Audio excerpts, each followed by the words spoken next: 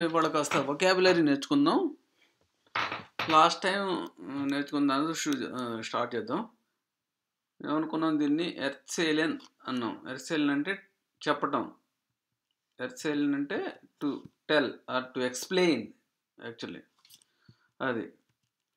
G అంటే పెద్ద yes తోటి రాస్తే అప్పుడు ఫార్మల్ గౌరవార్థం మనం మీరు అంటాం చూడండి అది యు అనమాట అది. ఇంగ్లీష్లో యువు తెలుగులో మీరు. జిష్ అంటే యువర్ సెల్ఫ్. అంటే మీ గురించి మీరు అని. యూబా అంటే యూబా అంటే అబౌట్. దేని గురించి అని చెప్పటాన్ని యూబా. జీ జిష్ యూబా. జీ జిష్ యూబా. జీ యూబా జిష్. ఓకే. హెచ్ఎల్ఎన్జి ఎట్ వాస్ యువర్ ఎట్ వాస్ అంటే సంథింగ్. ఎట్ వాస్ అంటే సంథింగ్. హెచ్ఎల్ఎన్జి ఎట్ వాస్ యువర్ అంటే tell us a little bit about yourself. మీ గురించి మాకు కొంచెం చెప్పండి. అది దాని అర్థం. తీసేద్దాం. ఏం అవసరం ఓకే వాళ్ళు స్టార్ట్ చేయండి ఎక్కడి నుంచి ఇవాళ? బిఓ దీని ఏమంటాం? బిఓ బిఐఓ బిఓ అంటే ఆర్గానిక్. తెలుగులో సేంద్రియ అంటాం. బిఓ లేబిన్స్ మిట్టెల్ అంటే ఆర్గానిక్ ఫుడ్స్ అని. లేబెన్. అసలు లేబెన్ అంటే ఏంది? లైఫ్. జీవితం. మిట్టెల్ అంటే మాధ్యమం. మాధ్యమం. మిట్టెల్ అంటే ఒక మార్గం ఒక ప అని కూడా వస్తుంది. రకరకాల అర్థాలు వస్తాయి. ఇక్కడ వస్తుంది చూద్దాం. మిట్టెల్ మీడియం మాధ్యం మధ్యస్థం. లేబిన్స్ మిట్టెల్ అంటే రెండు కలిపితే. లేబిన్ అంటే లైఫ్ అను. దాన్ని ఒక ఎస్ తోటి కలిపితే ఏమవుతుంది? లేబెన్స్ మిట్టెల్ అవుతుంది. అదొక వర్డ్ అవుతుంది. రెండు రెండు పదాలను కలిపి ఒక పదం చేశారు గ్రోసరీస్ అని ఇచ్చాడుగా. Very good. ఓకే యాక్చువల్గా ఇది ఇట్లా రాయకూడదు. రాయరని అర్థం కావడం కోసం చెబుతున్నా ఓకే. రెండు పదాలను కలిపితే ఏమవుతుంది? లేబెన్స్ మిట్టెల్ అవుద్ది. అంటే ఫుడ్.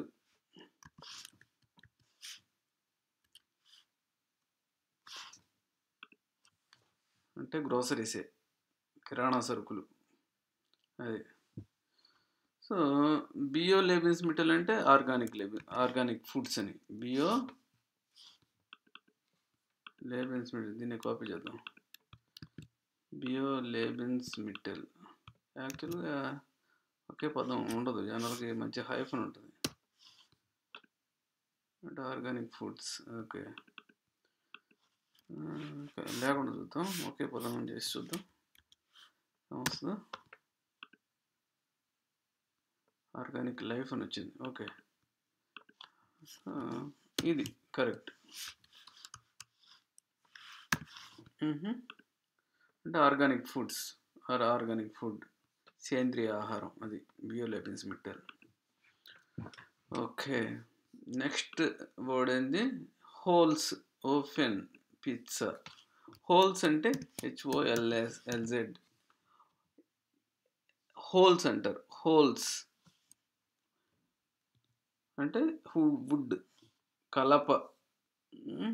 ఓఫెన్ అంటే ఓఫెన్ అంటే అవెన్.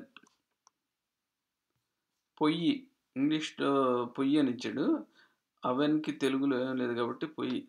ఓకే. హోల్స్ అవెన్ అంటే పిజ్జా అంటే పిజ్జానే కదా. దాంట్లో ఇంకా మనకి తెలుగులో పదం ఏం లేదు ఇంగ్లీష్లో కూడా అదే. పిజ్జా. కాకపోతే ఇంగ్లీష్ ఇంగ్లీష్ ఎలా అంటారు పిజ్జా అంటారు. ఇక్కడ మనం పిజ్జా అంటాం జర్మన్లో. జెడ్ అని ఎప్పుడు కూడా టిఎస్ లాగా పలుకుతాం. ఎక్కడ జెడ్ జెడ్ ఎక్కడ జెడ్ ఎక్కడ వచ్చినా కానీ దాన్ని టిఎస్ లాగా పలకాలి. పిజ్జా. పిజ్జా కాదు పిజ్జా అన్నా కానీ అర్థమవుతుంది జనానికి కాకపోతే పిజ్జా అనాలి.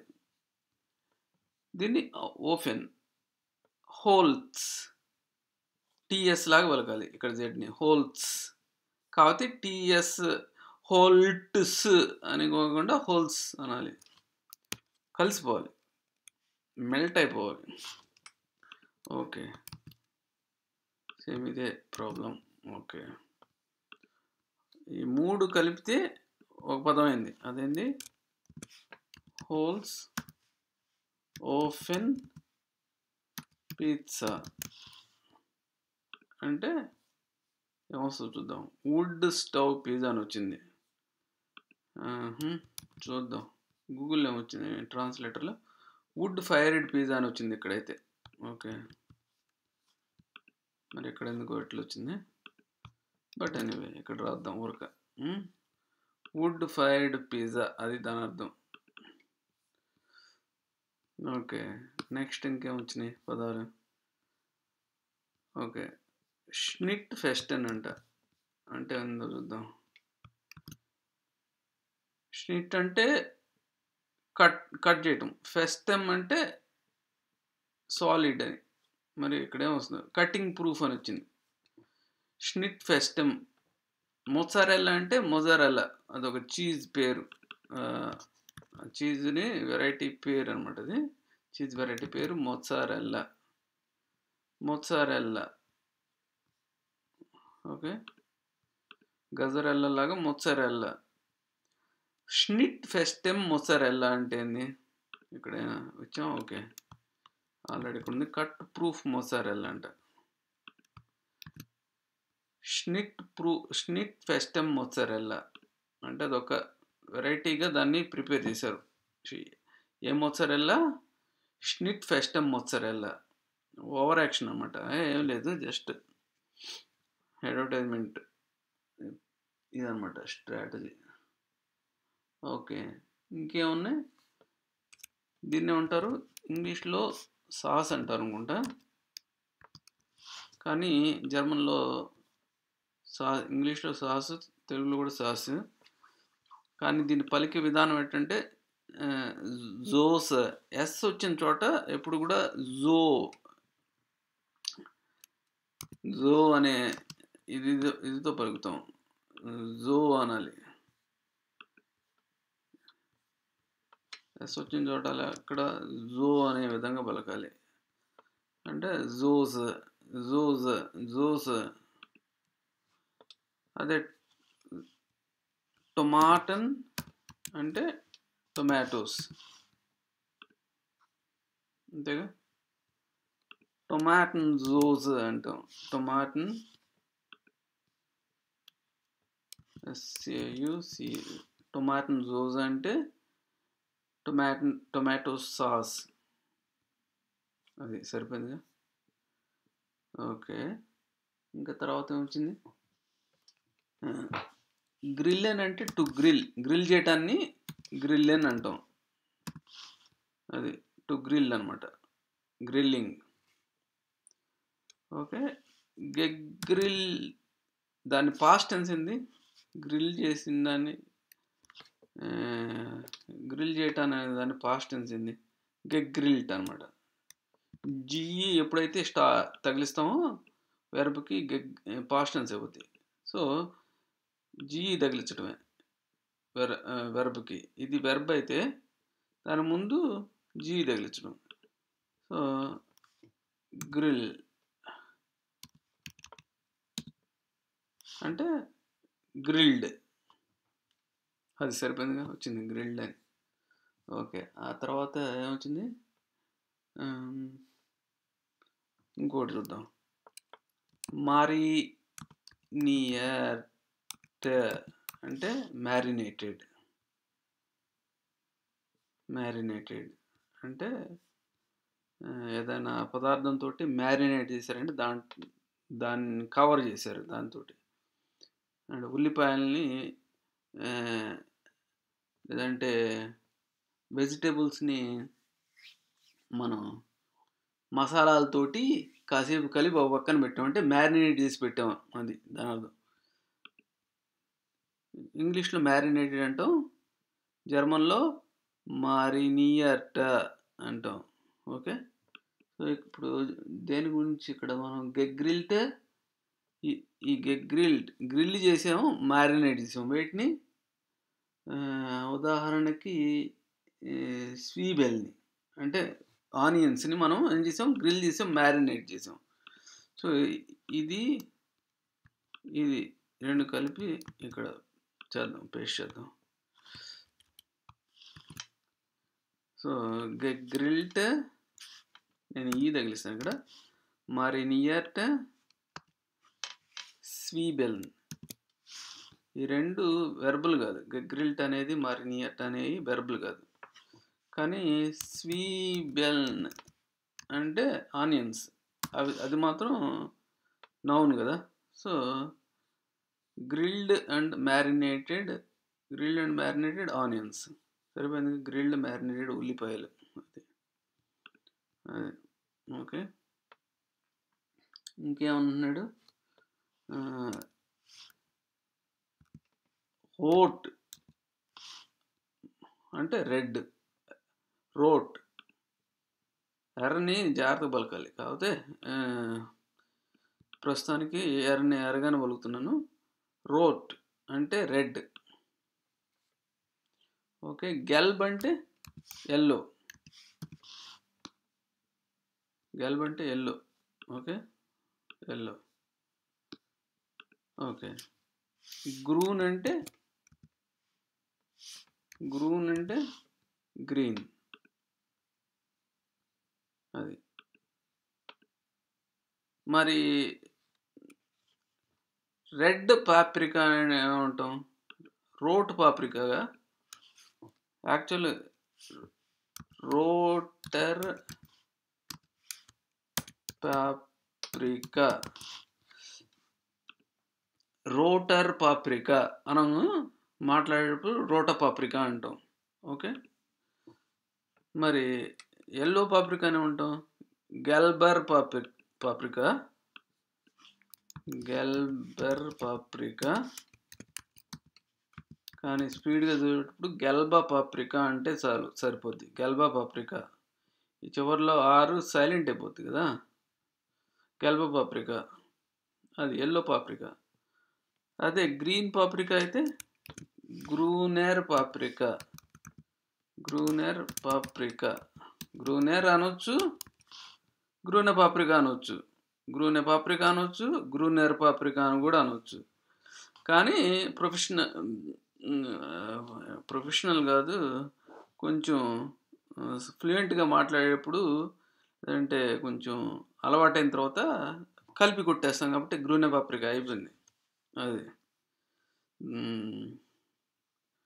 ఇంకొకటి ఏంటంటే ఓకే. ఇంకోటి ఏంది? స్వీబెల్ అంటే ఇందాక చెప్పుకున్నాగా? యాక్చువల్గా ఇక్కడ స్వీబెల్ కాదు ఇది సుక్కిని అంటే ఇది. సుక్కిని అంటే సుక్కిని అదొక వెజిటబుల్ సుకీ స్పెల్లింగ్ ఏంది సు double C H double C H I N I సుకీని వస్తుంది చూద్దాం. సుకిని వచ్చిందిగా. జికిని అని ఇచ్చాడు తెలుగులో. గగ్రిల్ట మార్నియర్ట సుకిని అది. Okay. So zucchini onions. Onions ఎర్ర ఎర్ర ఆనియన్స్ అంట. సో మరి ఎర్ర ఆనియన్స్ని ఏమంటాం చూద్దాం? రోట్ అంటే రెడ్ అనుకున్నాగా. మరి స్వీబెల్ అంటే ఆనియన్స్. స్వీబెల్ అంటే ఆనియన్స్. అప్పుడు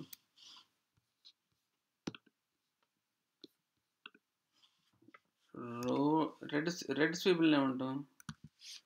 రోటెమ్ స్వీబెల్. మారిపోయింది ఇక్కడ. ఇందాక రోటెమ్ స్వీబెలన్ ఇక్కడ ఎం వచ్చింది? స్వీబెలన్కి అది పాప్రికాకి రోటెర్ వచ్చింది. ఇంకొక దానికి ఇంకొకటి ఏదో మళ్ళీ మారిపోద్ది. సో ఇక ప్ర ప్రతిదానికి నౌ నౌన్ బట్టి ఇక్కడ మారిపోతుంటాయి చివరిలో. రోటెర్ దీనికి రోటెమ్ ఇంకో దానికి రోటెన్ లేదంటే అట్లా మారిపోతుంటుంది చ- సో చాలా కష్టం అనమాట సో అందుకని నేను ఇంక దీన్ని పట్టించుకోవడం మానేసా ఈ చివరిలో. సో రోటే పాప్రికా రోటే స్వీవెల్ అనేస్తున్నా. ఓకే? ఇది దానికి ఇంత ప్రయారిటీ లేదు. అంటే ఇవ్వట్లేదు. దీన్ని మర్చిపోవటం ఇంకా. ప్రతిదానికి మారిపోతుంటే లేదంటే ఎక్కువగా మారిపోతుంటే దేనికి మారిపో దేనికి ఎమ్మో దేనికి ఎర్రో గు గుర్తుపెట్టుకున్న కష్టం కాబట్టి సో సింపుల్గా రోటే పాప్రికా రోటే స్వీబెల్ రోటే కార్టోఫిల్ ఇంకా అట్లా అన్నిటికీ రోటే అంతే. ఆర్ఓటిఈ వరకు గుర్తుపెట్టుకోవటమే. సో అది. సో ఇది అయిపోయిందిగా. నెక్స్ట్ ఏంది? ఓ చాలా వరకు వచ్చేసాం మనం. ఓకే ఇంకా టీఫ్ గెఫ్రోరెన్ ఓకే టీఫ్ అంటే ఏంది? డీప్. టీఫ్ అంటే డీప్. టీఫ్ అంటే డీప్. గెఫ్రోరెన్ గెఫ్రోరెన్ అంటే ఫ్రీజ్ ఫ్రోజన్. జీ వచ్చిందంటే పాస్ట్ అన్స్ అన్నాం కదా ఫ్రోజన్ అనమాట ఫ్రీజింగ్కి ఫ్రో కాకపోతే ఇక్కడ ఫ్రోరెన్ అనేది ఒక వెర్బ్ కాదు. ఫ్రీజ్ ఫ్రో ఫ్రీజింగ్కి ఇంకోటి ఉంటుంది. ఆల్మోస్ట్ ఇట్లానే ఉంటుంది. సో దాని కంటెక్స్ట్ వచ్చినప్పుడు మాట్లాడుకుందాం. కాకపోతే జీ అనేది పాస్టెన్స్ కాబట్టి ఇంకా ఫ్రోరెన్ అంటే ఫ్రోజెన్ అంటే ఇట్స్ పాస్టెన్స్ అనమాట టీఫ్ గెఫ్రోరెన్ అంటే డీప్ ఫ్రోజెన్ చూద్దాం ఏమొస్తుందో టీఫ్ గెఫ్రోరెన్ ఫ్రోజెన్ మళ్ళీ అదే వచ్చింది. ఓకే. అయిపోయినాయిగా ఆ, అదే ఇవాళకి ఒక్యాబులరీ స్టోరీ